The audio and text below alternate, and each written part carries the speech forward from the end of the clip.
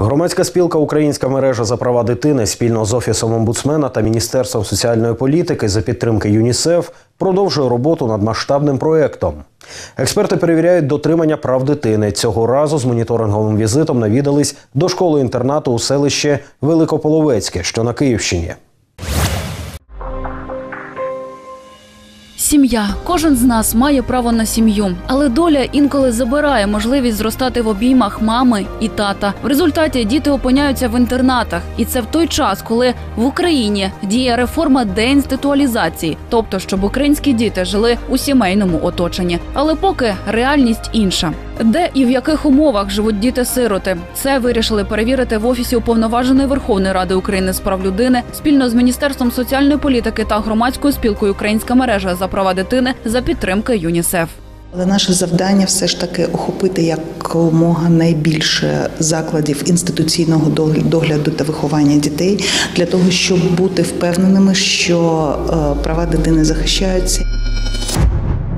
Київщина, село Великополовецьке. Саме тут розташована школа інтернату, яку навідались експерти із ревізією. Попри те, що моніторинг інституційних закладів на Київщині проходить вже вдруге, у стінах цієї школи фахівці були перший раз. Перевіряли все від документації до вбиралень. Процес фіксувала і наша знімальна група. Перше, що кинулося в очі, куточок, де розписано, які права має дитина. З них право на освіту, на гідне житло, дозвілля. Та чи не порушують права вихованців цієї школи інтернату? Перевірку почали з корпусу для найменших.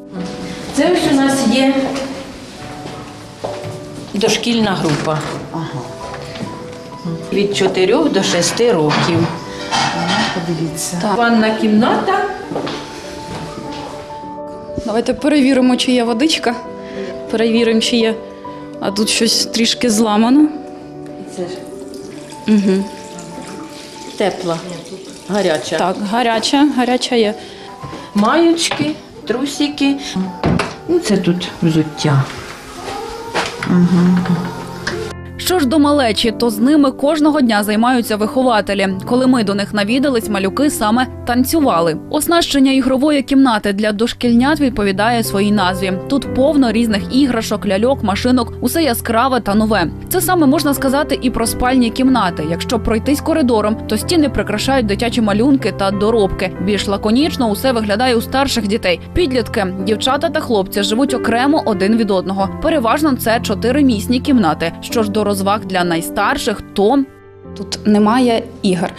Мінімум, який тут знаходиться, це ось тут у шкафчику. Буквально чотири коробки з е, настільними іграми. Але у школі-інтернаті є низка гуртків, де діти можуть як розважатись, так і розвивати свої таланти та вміння. Найменші малюють. Ну що, малюють? Ну, малюють же ж кажані. А воно В принципі, схоже. добре намалювало. показано, так і намальовано. Дуже добре. Доробки більш старших вихованців закладу вразили, адже деякі з них мають неабиякий творчий хист. Мотанка зроблена дитячими руками. В'яжуть, бісером ліплять, е, із паперу роблять різні візерунки. І шиють Ой, а от- от без- Ще ми не пришили сюди пуговички, була б воно стояло і гольничок. Разом із цим до школи приїжджають спонсори, які дають дітям можливість відвідувати гуртки за професійною направленістю. Це гурток чобіток, який знаємо, яке зараз взуття дуже якісне. Тому в нас є людина, яка вчить підшивати все це взуття. Е, Спонсори забезпечують його нитками, голками спеціальними, клеєм. Працює гурток в'язання. Для дівчаток є гурток перукарської справи. У нас дівчатка підстригають меншеньких діток. Для любителів почитати є й бібліотека. Доброго дня, одразу запах книжок. Гаррі Гаррі Поттер. Поттер, і тут всі частини. Гаррі Поттер всі. Полюбляють діти і спорт. Деяких учнів застали ми саме під час уроку фізкультури.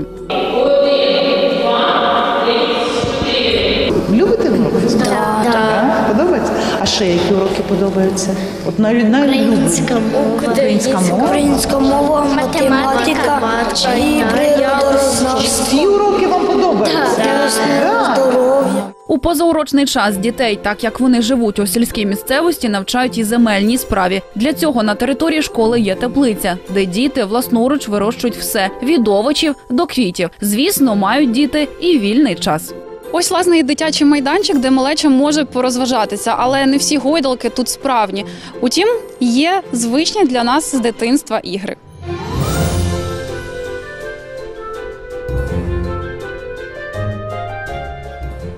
Їдять діти у столові, яка, до речі, трохи поодаль від головного корпусу. І тих хвилин п'ять готують страви згідно наперед розпланованого і затвердженого меню. У день на харчі для дитини виділяють максимум 60 гривень. Впустили нашу знімальну групу і до самої кухні. Там усе чисто, прибрано, а продукти усі промарковані. Супи густі, гарні. Ну ось подивіться. Ну да.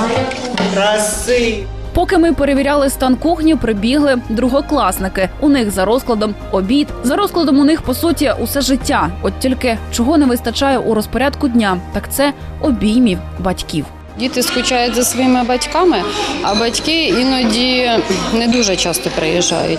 І от одних діток забирають на вихідні, а інші залишаються. Вони починають сумувати за мамою, згадувати, і дітки буває нервують е, в цьому плані, тому що вони хочуть додому. Але повернутись додому до мами і тата не можуть, бо для прикладу батьки ведуть асоціальний спосіб життя. Ось тут і потрібні соцслужби, які повинні вмотивувати батьків спілкуватись зі своїм малям, надати соціальну їм підтримку, зробити все, аби діти повернулись у сім'ю. Але реальна картина інша. Ми подивились у візит- візитаційний журнал, і служба у справах дітей останнього разу відвідувала цей заклад у 2007 році, що є неприпустимим. Служба у справах дітей зобов'язана не рідше, чим один раз на рік е, здійснювати контроль за станом утримання виховання дітей в закладі.